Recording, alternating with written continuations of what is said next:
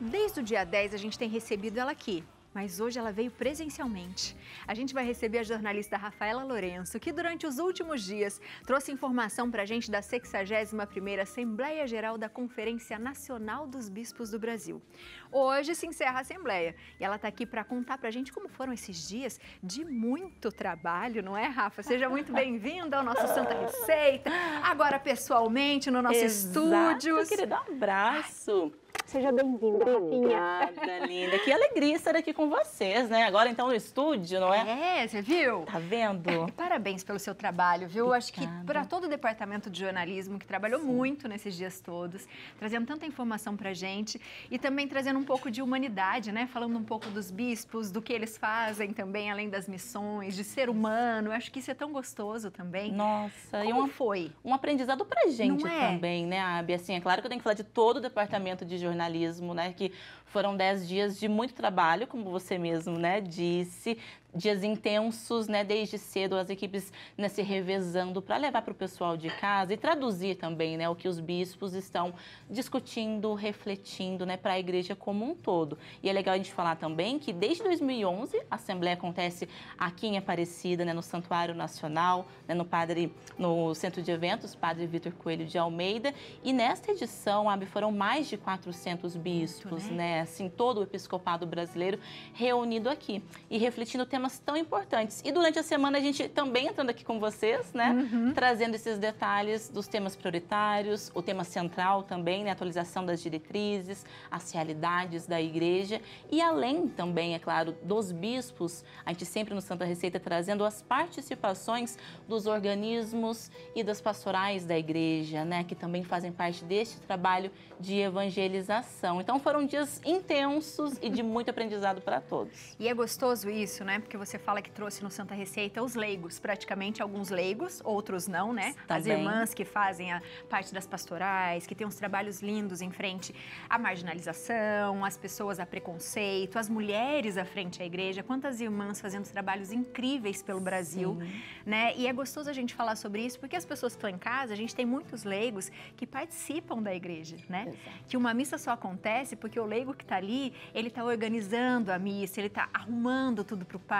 Então, acho que é, é importante a gente falar um pouco sobre isso e valorizar essas pessoas, porque tem muita gente em volta de tudo, né? Com certeza, inclusive hoje mais cedo quem acompanhou também, né, o TJ Aparecida, a gente trouxe um pouco da organização, até porque hoje acabou então, né, esta edição, a 61ª Assembleia Geral, mas como no- na TV também temos tantas pessoas por trás das câmeras, né, fazendo acontecer os programas, os jornais, na Assembleia não é diferente, são muitas pessoas trabalhando para que aconteça este encontro. Então, a gente também tentou trazer este lado, né, de todos que trabalharam para ter o lado também aí humano, lógico, né, além da parte religiosa, que é tão importante e essencial para essas discussões. Eu sei que a gente tem um VT aqui. Temos, Tem? é claro, temos sim. Então vamos assistir. Vamos.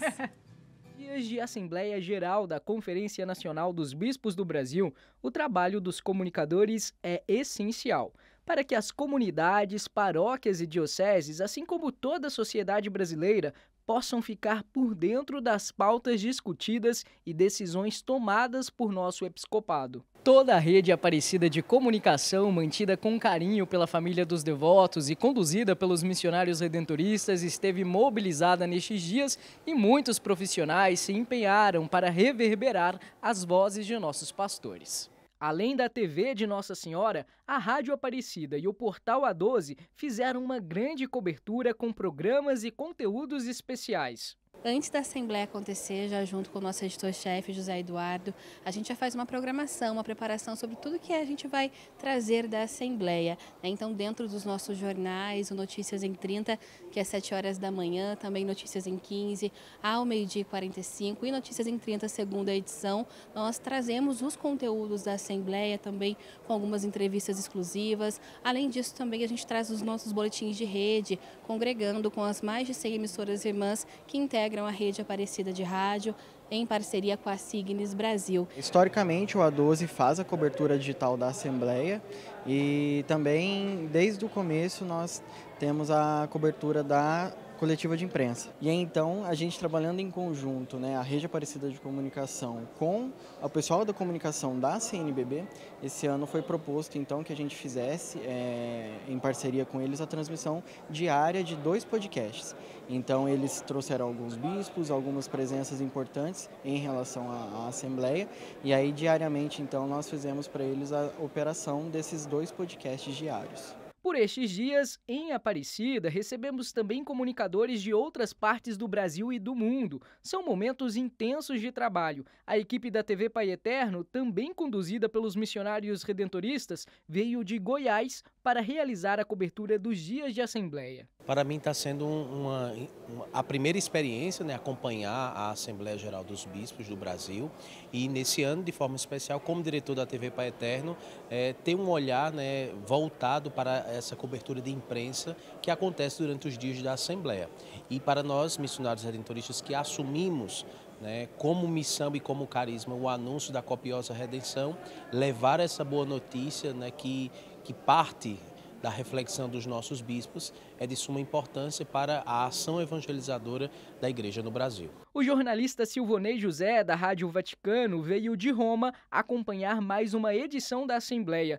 Tempo oportuno para que possamos expressar juntos a sinodalidade da Igreja e ainda para que ele, que trabalha tão pertinho do Papa Francisco, compartilhe suas experiências com os outros comunicadores católicos. É, eu posso dizer para você que é sempre uma alegria poder vir ao Brasil, ainda mais quando eu venho a trabalho, nesse sentido que não é um trabalho, é uma alegria porque eu encontro muitos dos meus amigos, os nossos queridos bispos. É, essa é a minha vigésima quarta Assembleia. Portanto, eu venho à Assembleia quando muitos desses bispos não eram bispos, eram simples sacerdotes. Né? E ao longo do tempo a gente aprendeu a conhecer as as realidades brasileiras através deles. Silvonê é maravilhoso, né? Demais. E como, né? Nossa. Como tem também tanto conteúdo para compartilhar com a gente, Exatamente. né? Tanta experiência. Que gostoso Demais. isso. Foi uma experiência boa, né? Muito. Mas ainda não acabou.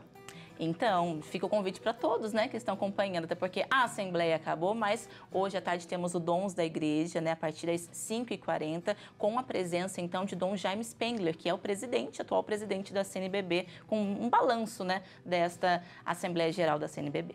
Muito obrigada. Seja sempre bem-vindo à nossa obrigada, casa, viu? Eu que agradeço, querida. Um prazer estar aqui com você. Prazer é sempre nosso e parabéns pelo trabalho mais obrigada. uma vez, viu? Beijo para você. Um beijo.